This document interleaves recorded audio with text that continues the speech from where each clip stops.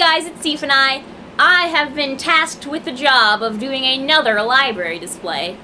This is for the month of August, and I was thinking maybe back to school, but that's kind of cliched and boring, or uh, I don't know, what's summery? And then I went, oh hey, just like as a joke to myself, like my birthday's in August, I should do a display all about my birthday. And then I went, wait, you know that that might work. Actually i could do like party planning and like broaden it to like baby shower and bar mitzvah and uh, summer barbecue and all kinds of stuff. So i just got some general books about party planning and organizing and some children's books about fun party time with party hats and everything.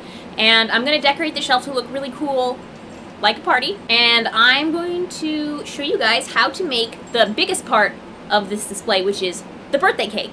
The display is going to have several parts. It's going to have, of course, the books that are all displayed. It's also going to have the cake in the middle. The cake is going to say in like frosting letters, it's party time. And then it's going to have balloons of different holidays and parties. It's going to have some party hats and a little bit of confetti. For the cake, I am just taking a box, namely this one, from some light up candles. Don't tell anyone.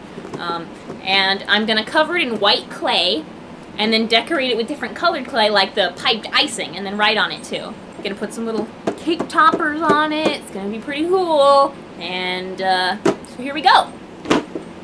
Okay, so I've got my box for the cake. I have the white clay that's gonna cover the box. I have the colored clay that's gonna be the decorating colors and some piping bags with tips so that I can pipe that clay like it's a cake. I've also got some flower-shaped cookie cutters that I can use to hopefully put inside each other in order to make 3D flowers. Oh yeah, and I've got two cans of soda. We have a rolling pin that I was going to use to roll out this clay like a sheet of fondant, but uh, we can't find it, so I'm using soda cans.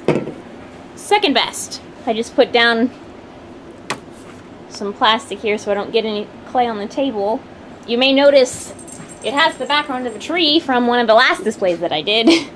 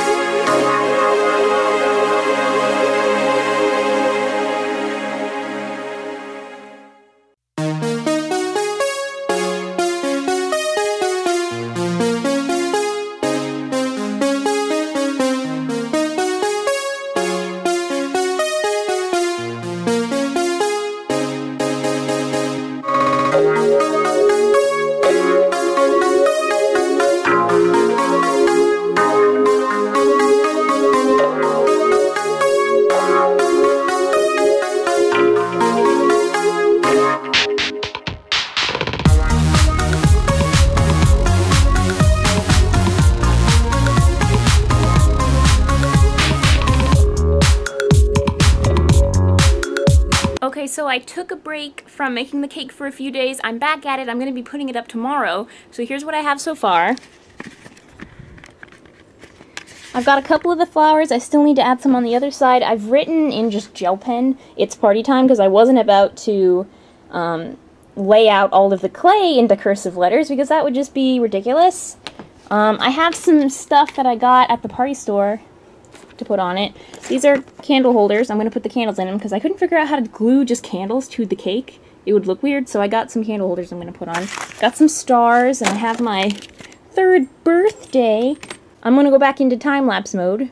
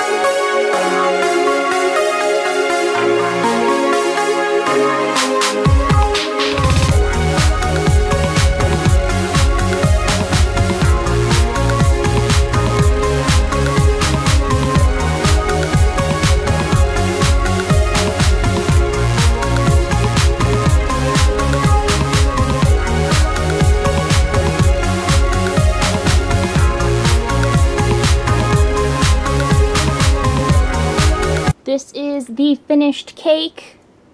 It's party time. And it's apparently it's their third birthday. I'm going to let this dry, all the glue and clay and everything, and then I'm going to put it on some cardboard and probably on a binder so that um, it sticks up a little bit this way so you can read it. And then I'll show you some video or pictures of the display when it's done. Because I already got a bunch of cool party stuff. I got, like, party hats and a little mini sun pinata and like confetti and all of this cool stuff. So you will see this when it's done tomorrow after I set it up.